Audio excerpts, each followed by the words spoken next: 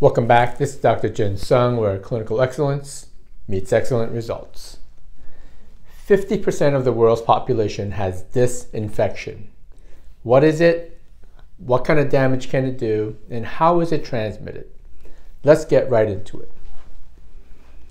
The infection is called Helicobacter pylori or H. pylori.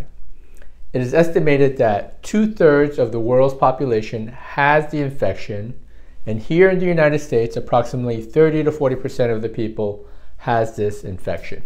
Okay. Now, how does it spread? It spreads person to person, basically saliva, kissing, sharing of food. You can also get food and water contamination with H. pylori, and the fecal oral route, so contaminated water.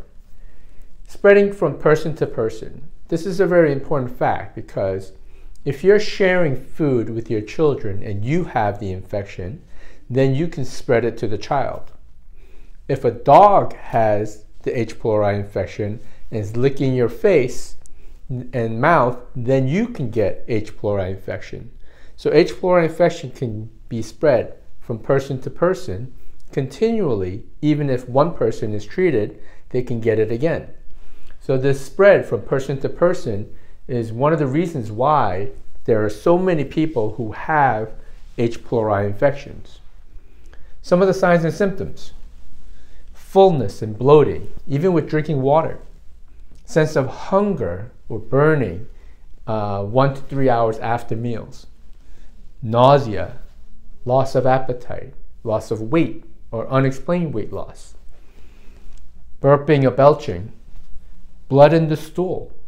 So you can have the infection burrow to the point where it damages the intestinal lining, and you can have uh, overt blood, or you can have occult blood, meaning microscopic blood or bleeding, leading to iron deficiency or anemia. All right. So why is H. pylori so damaging? H. pylori when you get the infection, will suppress what we call parietal cells of the stomach. Parietal cells will decrease HCl production when you have suppression of parietal cells.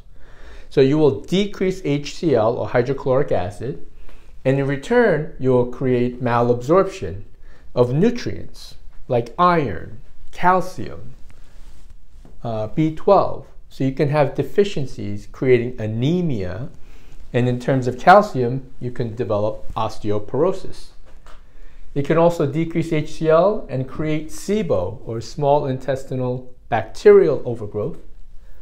And then it will also decrease diversity of the gut microbiome. So your gut flora will change, it will have less diversity. You need gut microbiome to have healthy uh, immune system, uh, absorption uh, and, and, production of uh, nutrients. H. pylori will also damage and migrate and damage the vascular endothelial cells, creating higher incidence of cardiovascular disease or cerebral vascular events. H. pylori will also mimic antibodies, so antibody molecular mimicry, affecting parietal cells, causing autoimmunity, gastric lining causing uh, gastritis. It'll also impact the pancreas. Sometimes you will develop type 1 diabetes later on, right, in adulthood because you have the H. pylori infection. It will also impact vascular system, increasing cardiovascular disease. So you can see that H. pylori has a massive effect overall, not just in the stomach. Gastric metaplasia. This is a big one. If you have damage or infection of H. pylori, it starts to change the cellular me uh, makeup of your stomach. It changes it, and that increases your risk for stomach cancer. So, in certain countries, there's high levels of stomach cancer because they share food all the time. It's just cultural. They share, you know, meals together, drinks together same cup, everything, and they continually spread the H. pylori infection, increasing the risk of stomach cancer. Now, I'm going to make another video on the testing options, you know, which tests would be best to pick this up. And second, we're going to go ahead and do some natural uh, alternatives to antibiotic therapy. So traditionally, in the medical community, they'll use antibiotic therapy, usually two different types, and the proton pump inhibitor. And it's pretty aggressive, and you have to do it for at least two weeks. And it may may not kill off the H. pylori infection. So we're going to talk about some natural herbs and remedies that you can utilize to see if you can minimize H. pylori infections in our, in our system. All right. I'd like you to go ahead and subscribe, drop a like, and we like to get this page growing and we want to get to that $100,000 uh, 100,000 uh, subscriber uh, mark so we can go ahead and give away those free consults that we talked about in our prior videos. All right, my name is Dr. Jin Sung, where clinical excellence meets excellent results, and we'll see you guys next week on the healthy side. Have an awesome day.